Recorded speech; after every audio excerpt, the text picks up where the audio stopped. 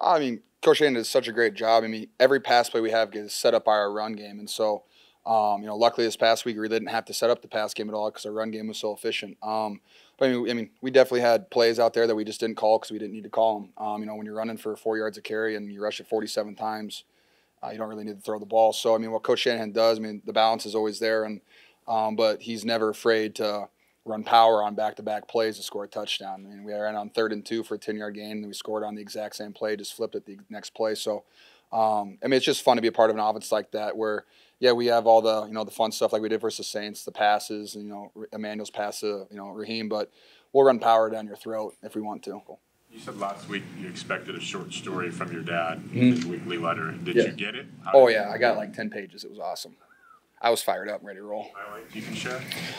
Um, no, actually I can't. Those are mine. And what do you expect this week? Uh, whew, a little bit longer probably. Um, yeah, he was on one last week. It was pretty fun. It was it was a great one maybe he'll share with you guys at some point. How does he keep it fresh?